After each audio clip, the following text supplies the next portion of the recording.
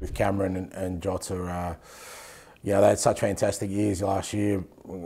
Great footballers with, I think, you know, a lot of potential to improve, but also uh, great people, and uh, that's what we want to build our football club around. So, I think, you know, very, very happy that we've got them in permanently, and I know they are as well. You know, they, they want to be part of this and uh, what we're creating moving forward. So great to have them involved, and um, yeah, Alexander, um, yeah, great to get him on board. Uh, it was an area of the park we needed some some some additions uh, know, left back with uh, you know, Greg, the only one we had there last year, and uh, he's exciting, you know, and again one of these young players that we want to sort of bring into the club, develop, and, and hopefully, um, like I said, create uh, you know a side that can be uh, successful for a number of years. For the two boys that were on loan last year, how important was it for you for the stability, of course, for the quality as well, to keep them in the group?